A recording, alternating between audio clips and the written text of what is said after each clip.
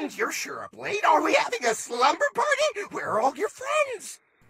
As you may assume from the title, here I am, the Lord of Libras, redesigning Sundrop and Moondrop, or, you know, properly known as the daycare attendants, since they don't really have real names, but that doesn't matter.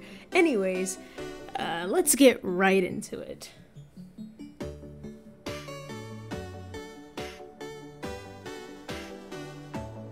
It's past your bedtime. You must be punished. Ain't he a scary fella? Terrifying, really. Anyways, I don't necessarily have good commentary since I kinda suck in the talking department, but I'm redesigning Sundrop and Moondrop is how I personally see them in my eyes. Now I'm not fixing them or making them better or anything. It's just a personal opinion, and I hope you like my personal opinion of what I think they should look like or should have.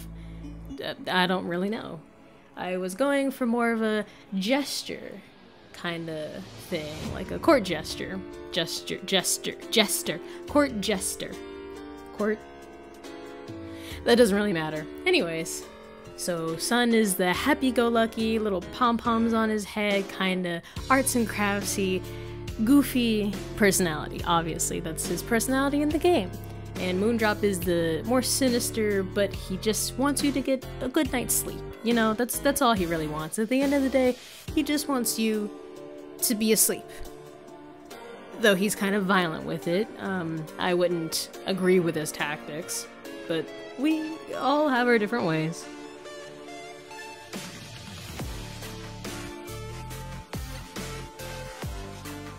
Little, uh, I guess, head headcanon, I guess I could call it, is if I were to recreate the game, which. Anyways, if I were to recreate the game, I would make Sundrop's voice more like a uh, kind of 50s quartet. I think that's the genre of music I'm thinking of. It's like a. Um. Can, can, Sandman. Like, think of the Sandman song. Kinda, Sundrop has the either effeminate man or masculine woman sounding voice. I like to think that he's very androgynous sounding and could pass off as any gender. And he also has a radio that's either on the, the small of his back or positioned somewhere on his body, and he sounds like a muffled radio. That's personally what I think he would sound like. I would. I just think that would fit his personality better, especially since a lot of people also agree that they associate him with the old 50s kind of sounding music. So just might as well, you know, roll with it, right?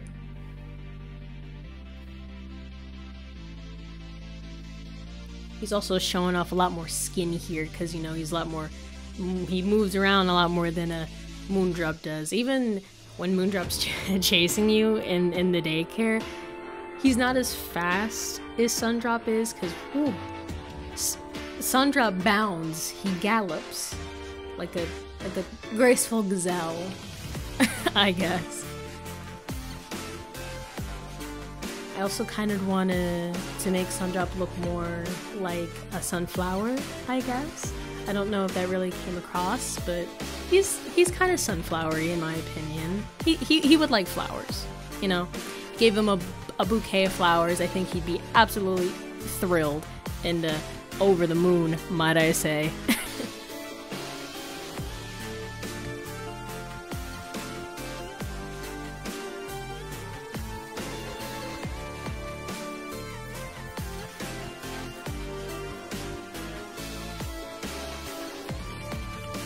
Also, a little fun fact if you didn't quite know this about the original Sundrop and Moondrop design, but they both have very large hands with five opposable fingers so they can uh, do sign language to children who can't hear or can't speak. And they also have the bells so they can alert children to them, those who can't see. And I think that's very cute and very tasteful for a franchise that otherwise does not care about children's well beings. Um, you know, I mean, out of all of the animatronics, Sundrop and Moondrop seem to be the least threatening. I mean, there's obviously the uh, the notes scattered throughout where, like, you know, little Timmy pissing himself to sleep every night because Moondrop definitely traumatized him. But I'm saying they don't have a body count, so they're not that threatening. I guess.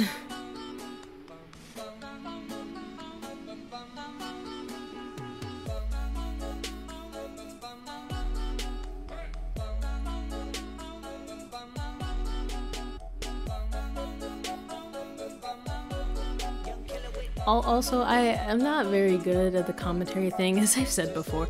But i mean if you want to uh, see me revamp any of the other um, animatronics from security breach just you know just let me know in the, in the comments below. I have a list of characters that i personally would like to do but i don't have a specific order that i would like to do them in. So if you want to me to do like Glam Rock Freddy next or Chica next or yada yada yada, just comment it uh, down below and I will definitely do that one next. I'm not gonna let this be a one off thing and then just let it disappear and die under the rug.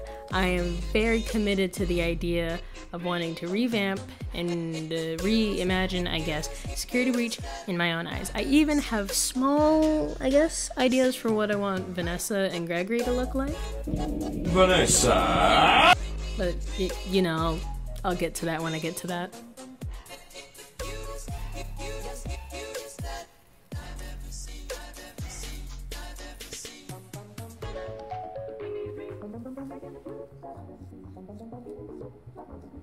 Also, I like to think during the uh, ever so traumatic transformation of Sun- Sunny Boy turning into Moony Boy, that uh, Moon takes off the the bow that's on Sun's back and just throws it over his shoulders. He's just he's trying to show that he's a man of class, a man of sass, if you will.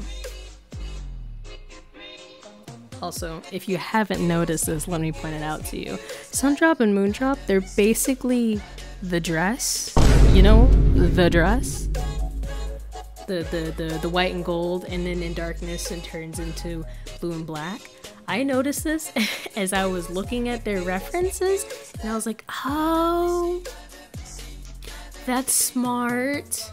So I decided to take it a step further by really pushing on this fact that they are literally just the same color unless the lights are turned off. You know, as a treat. Color theory as a treat. I also messed up on Sundrop's face a little. I will fix that later. Don't worry about it. Collar theory. Am I right, guys?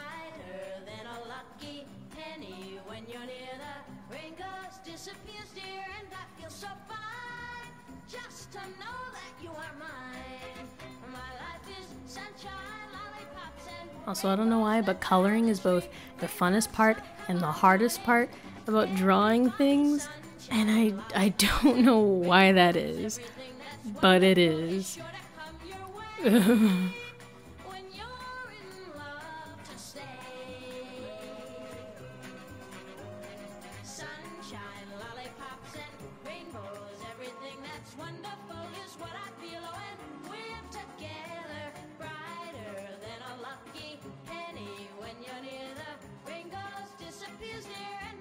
So.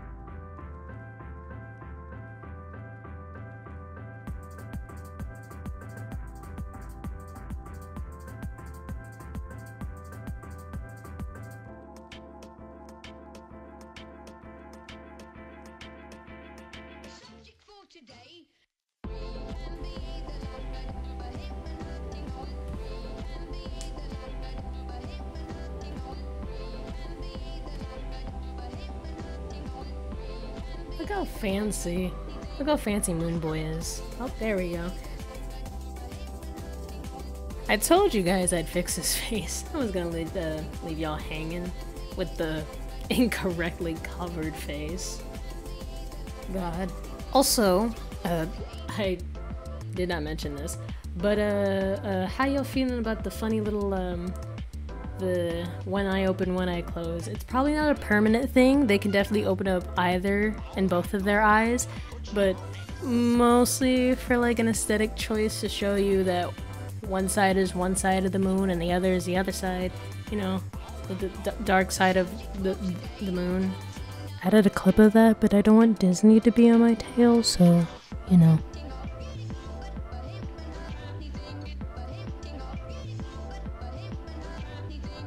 Also, I was supposed to make another alternative version where uh, Moondrop's eyes aren't, or I'm sorry, Sun's eyes aren't colored in blue, but I um I forgore. Vanessa, I forgore.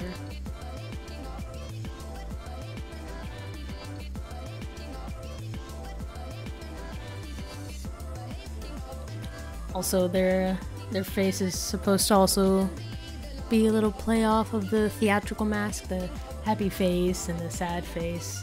Cause you know, why not? A little silly, goofy, little funny little tidbit. Cause I'm, I'm, I'm sure Sun doesn't appreciate being forcefully turned into Moon with without a warning. All right coming up on the, the, the long stretch, what we've all been waiting for, the big grand reveal. So since I have officially have lengthened out the amount of time I could talk to myself for, I am going to let you enjoy it. Thank you for watching, and uh, I hope to see you next time. Bye!